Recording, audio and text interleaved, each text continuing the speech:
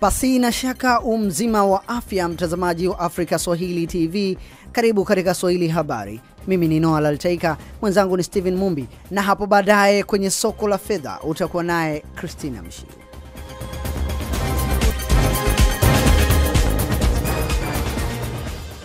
Taasisi ya kuzuia na kupambana na rushwa nchini Tanzania, TAKUKURU, imesema kuwa wananchi wengi bado wameendelea kuzilalamikia taasisi za serikali zinazotoa huduma kwa wananchi, ikiwa ni pamoja na hospitali na polisi kwa kujihusisha na vitendo vya rushwa. Kufuatia kuendelea kwa tabia hiyo, TAKUKURU imewataka wananchi kutokata tamaa kuchukua hatua dhidi ya udhibiti wa rushwa nchini.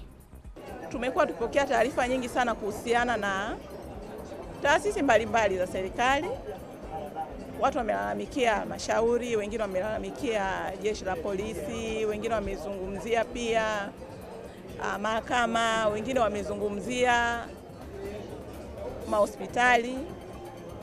Kwa hiyo hayo ni maeneo ambayo yamekuwa yakilalamikiwa yaki Aidha, TAKUKURU imesema kuwa pamoja na hali hiyo inayoendelea kuonekana katika sehemu za kutolea huduma kwa miaka ya hivi karibuni, kesi na taarifa mbalimbali za vitendo vya rushwa nazo zimeongezeka.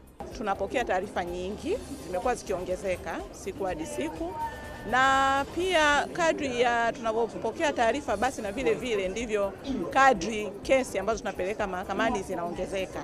Kwa kwa sasa hivi tunazo kesi nyingi tunaendesha katika mahakama ya, kwa kifupi ni kwamba taarifa zimekuwa nyingi na pia kesi mahakamani zimekuwa nyingi pia.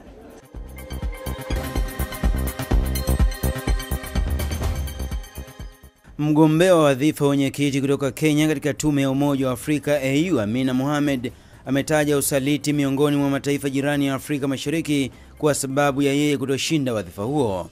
Balozi Amina Mohamed ambaye alipoteza wadhifa huo kwa mpinzani wake kutoka Chad Moussa Faki Mahamat alilaumu kushindwa kwake kulitokana na uongo majirani za Kenya na siasa zinazoendelea kati ya mataifa yanayozungumza Kifaransa yani francophone na wanaozungumza Kizungu yani anglophone.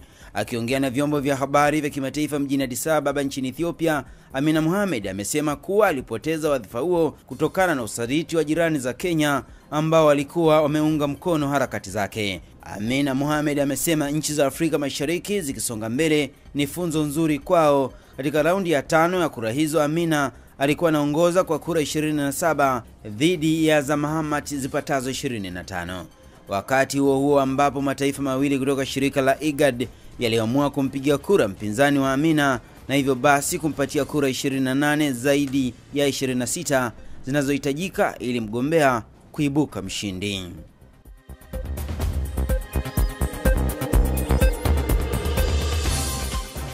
Wakala wa usajili, ufilisi na udhamini nchini Tanzania RITA umewataka wananchi wanaofunga ndoa kuhakikisha wanajisajili katika wakala huo na kupata nakala ya cheti cha ndoa ili kuondokana na mgogoro wa uhalali wa ndoa yao mara inapovunjika. Akizungumza na afrika Swahili TV, afisa usajili msaidizi wa RITA Jen Barongo amesema wanandoa wengi wamekuwa wakizingatia kupata cheti cha dini mara baada ya kufunga ndoa yao na kusahau kuwa kisheria cheti kinachotambulika ni cheti cha serikali kinachotolewa na wakala huo.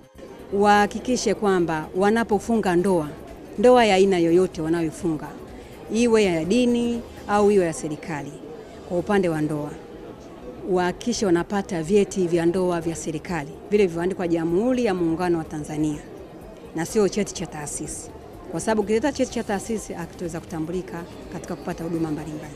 Kwa upande mwingine, Jen Barongo amesema kumekuwa na mwamko mkubwa wa wananchi kujisajili na wakala huo ili kupata nakala za vyeti vya kuzaliwa kwa watoto wao, ingawaje wengi wao hawafiki kwa wakati.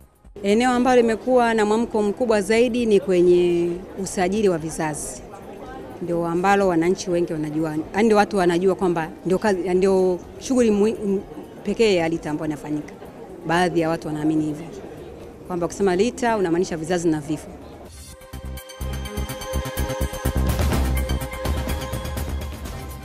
Rais wa Baraza la Umoja wa Ulaya Donald Tusk ameonya kwamba maamuzi ya kutia wasiwasi yanayofanywa na Donald Trump miongoni mwa changamoto zinazokumba muungano huo. Amesema kuwa mabadiliko yaliyofanyika nchini Marekani miongoni mwa vitisho kutoka nje vinavyojumuisha China, Urusi na Waislamu wenye itikadi kali kwa muungano huo. Katika barua kwa viongozi 27 bara la Ulaya, Bwana Tusk pia amesema kuwa naamini kwamba wote wanakubaliana naye. Taarifa kadhaa kutoka Washington zimesababisha maandamano dhidi ya Trump katika miji mikuu ya Ulaya.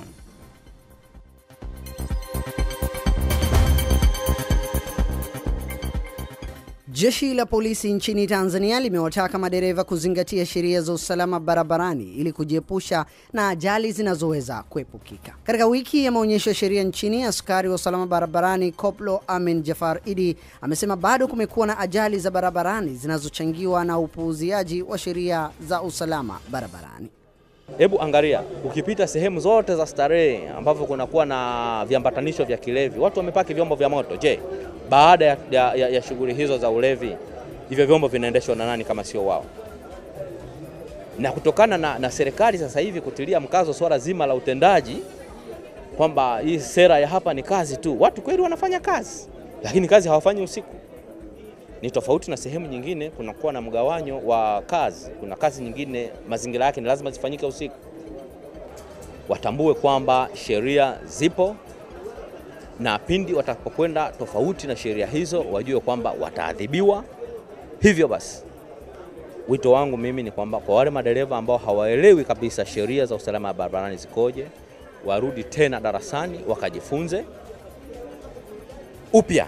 Hatua hiyo inakuja wakati ambapo takwimu zinaonyesha ajali za barabarani zimeongezeka kwa asilimia 42 kuanzia mwezi Januari hadi mwezi Septemba mwaka 2016.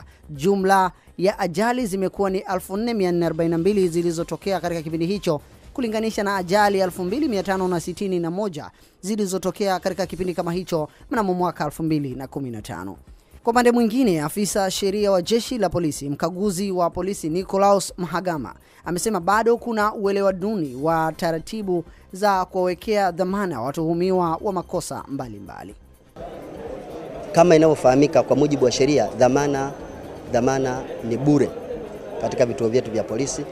Dhamana ni bure, na tatizo ni kwamba kinacho kinacholeta shida ni uelewa wa wananchi kwamba ni wakati gani mtu atapata dhamana na ni kwa makosa gani mtu anadham, anadham, anadham, anaweza kadhaminika na kuna makosa gani ambayo hayadhaminiki.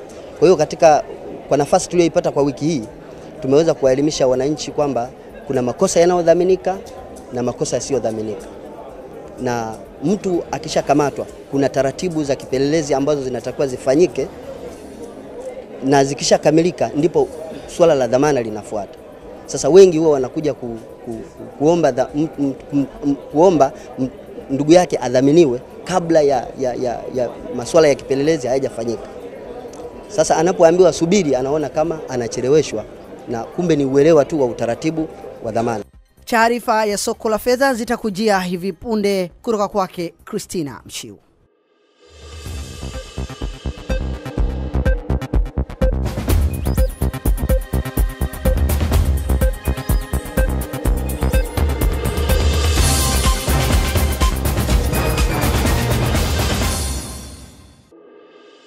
Ya Marekani imenunuliwa kwa shilingi 2210 na kuuzwa kwa shilingi 2233.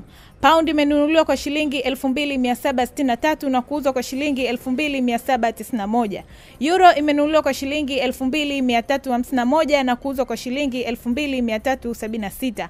Shilingi ya Kenya imenunuliwa kwa shilingi 21 na senti 28 na kuuzwa kwa shilingi 21 na senti 46. Shilingi ya Uganda imenunuliwa kwa senti 57 na kuuzwa kwa senti 62. Randi ya Afrika Kusini imenunuliwa kwa shilingi 162 na senti 41 na kuuzwa kwa shilingi 163 na senti 92. Faranga ya Rwanda imenunuliwa kwa shilingi 2 na senti 61 na kuuzwa kwa shilingi 2 na senti 71.